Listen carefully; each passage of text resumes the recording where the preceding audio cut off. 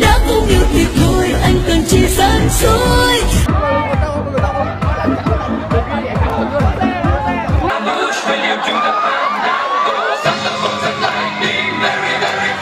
Xin chào các bạn đã quay trở lại với kênh Top 1 Khám phá Các bạn thân mến, thời còn đi học Ngoài những phút giây học tập nghiêm túc ở trên lớp ra thì điều khiến chúng ta nhớ nhất về thời học sinh đó chính là những buổi biểu diễn văn nghệ. Đây vừa là cơ hội để cho đám học trò có thể chơi đùa với nhau, vừa là cơ hội để chúng có thể thể hiện sự bá đạo và sáng tạo thông qua những màn trình diễn. Và mình đảm bảo rằng sau khi xem xong video này, các bạn sẽ phải gật gù đồng ý với mình rằng văn nghệ văn gừng của học sinh Việt Nam vô cùng bá đạo và lầy không ai bằng. Ngay bây giờ hãy cùng với chúng mình đi tìm hiểu những màn văn nghệ bá đạo có 102 của học sinh Việt Nam nhé.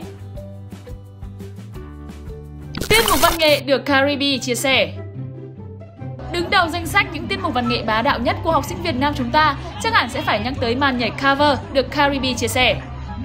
Chắc hẳn anh em ngồi đây ai cũng biết Caribe là một nữ rapper nổi tiếng người Mỹ. Cụ thể, cô đã chia sẻ một video văn nghệ trung thu tại một trường trung học cơ sở tại Hà Đông. Trong video, các em đã sử dụng bài WAP của cô nàng để biểu diễn. Vấn đề ở đây sẽ rất bình thường nếu như lời bài hát WAP này không phải là những ca từ có phần bậy bạ, chứa nội dung 18 cộng do Karimi thể hiện.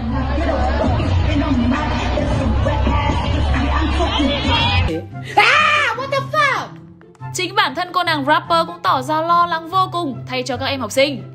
Thể hiện qua dòng caption tạm dịch là Người ta mà tìm ra lời là chết chị đó mới cưng. Video này sau đó đã nhận được hàng trăm lượt thích và chia sẻ cùng với những lời bình luận vô cùng thích thú. Khỏi phải nói rồi, ai cũng phải tỏ ra khâm phục độ chất chơi của các em học sinh Việt Nam khi dám đem nó lên sân khấu để trình diễn trước mặt thầy cô.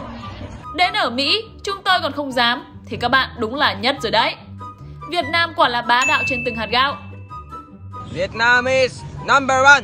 Và tiếp theo là một điệu múa từng hot hit một thời cộng đồng mạng.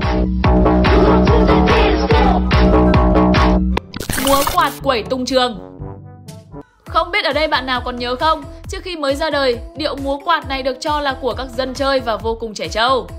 Thế nhưng, không ai có thể phủ nhận được độ phủ sóng rộng rãi của điệu nhảy khá bảnh này trong giới trẻ. Trong đó, học sinh cũng không ngoại lệ. Rất nhiều học sinh cấp 2, cấp 3 đã mang bộ môn này lên biểu diễn văn nghệ quẩy tung trường. Và như video các bạn đang xem chính là một ví dụ điển hình đấy. Dưới sự dẫn dắt của các anh cơ trưởng đội mũ cối chất chơi, cả phi hành đoàn tha hồ quẩy tung cả nóc. Nhìn phát là biết dân chơi thứ thiệt ở đây. Động tác vô cùng thành thạo, uyển chuyển thế này cơ mà. Anh khá mà nhìn thấy điệu nhảy của mình được viral thế này chắc hẳn sung sướng lắm đấy. Ở đây các bạn nào vẫn giống như top một chúng mình Đó là học bao lâu rồi vẫn chưa thể múa quạt điêu luyện như này không nhỉ Điểm danh ngay để top một chúng mình bớt câu đơn nhé Nhà bao việc vẫn phải đi diễn văn nghệ Top 1 cam đoan rằng sau khi xem xong clip này, các bạn sẽ hiểu khi không có năng khiếu văn nghệ nhưng bị bắt lên biểu diễn, kết quả nó sẽ như thế nào. Cụ thể, đoạn video ghi lại hình ảnh một số nam sinh đang trình diễn văn nghệ trước toàn trường. Nhìn qua tấm banner phía sau thì phần trình diễn này nằm trong chương trình giọng hát hay và vũ điệu đẹp. Yếu tố gây cười ở đây chính là nguyên cả dàn trai kéo nhau lên sân khấu biểu diễn nhưng chỉ với một động tác duy nhất đó là nhún và đu đưa vài nhịp.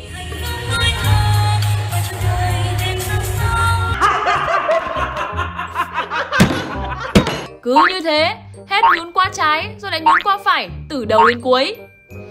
Nhà bao việc còn bắt đi văn nghệ Chẳng biết làm gì thôi thì đu đưa cho đỡ chán vậy Sau khi đăng lên mạng, video đã thu hút được rất nhiều sự chú ý, chia sẻ của các bạn trẻ, nhất là các bạn học sinh, sinh viên. Và đương nhiên, nó khiến cho người xem phải cười lăn cười bò vì độ độc của vũ đạo và độ đơ của người biểu diễn. Top 1 chúng mình xin mạnh phép phỏng đoán rằng có lẽ lớp thiếu con gái nên mới cho ra đời tiết mục bất đắc dĩ như thế này. Các anh em con trai ngồi đây đã từng biểu diễn văn nghệ lần nào chưa? Hãy chia sẻ ngay trải nghiệm ấy cho top một chúng mình cùng biết nhé. Mua bánh trôi nước Trái ngược với màn trình diễn bất đắc dĩ của các anh nam ở phía trên, tiết mục tiếp theo đây sẽ khiến cho các bạn phải mắt chữ A, mồm chữ O. Cứ ngỡ cái bộ môn múa may quay cuồng này chỉ dành cho phái nữ. Ai dè, các anh nam một khi đã ra tay thì cũng rất gì và lầy lọ. Bạn không tin nữa? Vậy thì hãy theo dõi ngay bài múa trên nền nhạc bánh trôi nước dưới đây. Được biết, đây là phần dự thi của một lớp học đến từ trường Trung học phổ thông Nguyễn Trãi, Thanh Hóa, nhân dịp Hội thi văn nghệ chào mừng 35 năm Ngày Nhà giáo Việt Nam 20 tháng 11. Chọn một ca khúc thịnh hành để múa lại thì à, không có gì lạ cả. Vậy, lý do gì đã khiến cho tiết mục chào mừng ngày 20 tháng 11 này đạt tới 1 triệu view cùng với hơn 40.000 like nhỉ? Lý do là bởi các vũ công thực hiện lên siêu phẩm này quá đặc biệt. Các bóng hình thướt tha trên sân khấu, ai ai cũng phiêu theo điệu nhạc. Động tác múa của ai cũng vừa dẻo vừa uyển chuyển đến mức làm người ta quên mất các vũ công của bài múa bánh trôi nước này thực ra toàn là con trai. Oh my god! Wow! Từ khi bắt đầu đến khi kết thúc, các chàng trai trên sân khấu đã đưa người xem từ bất ngờ này đến bất ngờ khác. Trang phục thì ai cũng váy xòe, áo yếm cánh hoa sen các thứ. Múa thì vừa đúng động tác, vừa đều tăm tắp nhé. Trừ cái khoản tóc tai hơi bị ngắn nên nhìn ra hơi sai sai ra ấy, thì màn múa chào mừng này xứng đáng được tặng 100 điểm. Bên dưới clip múa đáng yêu này là vô vàn những bình luận hài hước của cư dân mạng. Người thì cảm thán, con trai mà múa hay quá. Người thì háo hức kể về những kỷ niệm tập văn nghệ của mình. Ví dụ như Đúng kiểu, mấy anh không làm thì thôi, chứ một khi đã làm thì chị em cũng phải thua. Hay thật đấy, nhưng mà mấy bạn nam này cũng tự tin nữa, chứ phải con trai lớp mình thì có quỳ, có lệ chúng nó cũng không làm được như vậy. Còn các bạn thì sao? Bạn chấm màn trình diễn này được bao nhiêu điểm? Hãy comment một con số xuống bên dưới cho chúng mình cùng biết nhé. Trương Hùng vì nhạc tắt bất ngờ Cư dân mạng đã được một fan trầm trồ cực đại khi xem video clip tiết mục văn nghệ do các học sinh trường Trung học phổ thông Trương Định Hà Nội biểu diễn trong kịp sơ kết học kỳ 1. Ngoài cách chọn ca khúc hợp với không khí cận Tết, sự đầu tư trang phục, đạo cụ thì khỏi bàn. Nhưng mà cái điểm hút mắt nhất của đoạn video này đến từ những phần tưởng như sẽ làm fail toàn bộ màn trình diễn. Theo đó, dù đã chuẩn bị vô cùng kỹ lưỡng, đội hình tập tành khá đồng đều và có phần mở màn suôn sẻ. Thế nhưng lỗi của hệ thống âm thanh đã khiến cho nhạc bị mất tiếng tới hai lần liền. Mỗi lần kéo dài cả phút đồng hồ chứ chẳng ít đòi gì.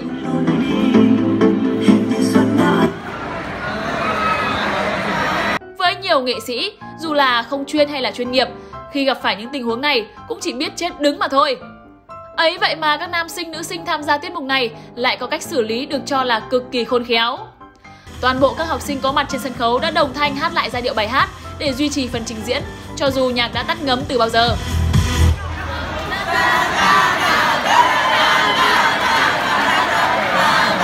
Nhìn mà xem, các bạn ấy đã phối hợp cực kỳ ăn ý đấy chứ. Mặc dù gặp trục trặc lớn trên sân khấu, thế nhưng thần thái của các bạn vẫn rất tự tin và chuyên nghiệp. Khỏi phải nói, dân tình đã dành cho tiết mục này cả rổ lời khen ngợi và ngưỡng mộ. Dù chỉ mới học cấp 3 nhưng đã có dáng dấp của những vũ công vì pha xử lý tinh tế, khéo léo của mình. Quả thật, nói đến thế hệ học sinh Gen Z, không thể không công nhận tài năng của họ phải không nào? Quá đẹp trai quá! Đầu tư MV xịn sò cover ca khúc đã không yêu thì thôi. Ai nhìn qua không biết lại tưởng MV xịn sò của ca sĩ nào đó. Nhưng thực chất, nó là tiết mục văn nghệ của các bạn học sinh được đầu tư công phu với các đạo cụ cây nhà lá vườn.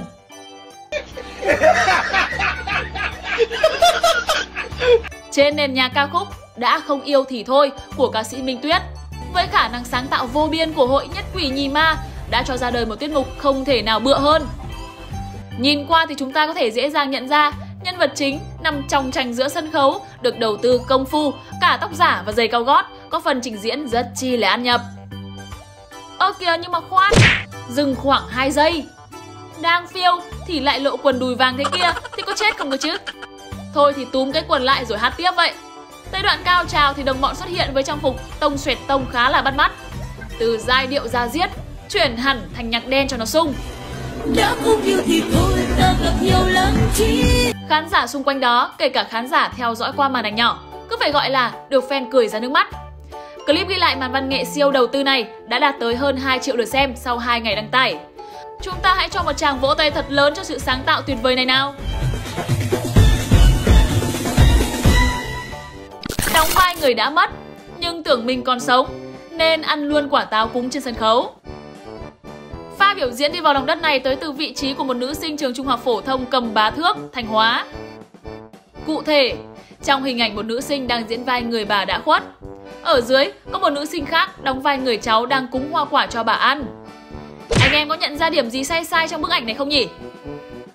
Vâng, chính là việc nữ sinh này đã quên mất rằng mình đang diễn mà vô tình ăn luôn quả táo mà đứa cháu đưa ra trước mắt. Diễn viên và đóng vai kiểu này thì đạo diễn chỉ có mà khóc hết nước mắt, còn khán giả thì được fan cười lăn cười lóc. Khoảnh khắc cắn miếng táo của cô nàng ngay lập tức đã được dân mạng thi nhau chia sẻ, chế thành meme để đời.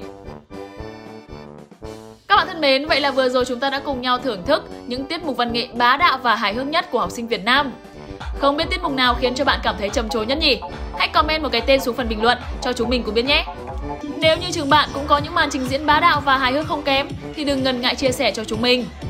Và nếu như các bạn yêu thích video này thì đừng quên để lại một nút like, share và đăng ký kênh Top 1 khám phá và nhấn nút chuông thông báo nho nhỏ bên cạnh để cập nhật nhanh nhất những video mới.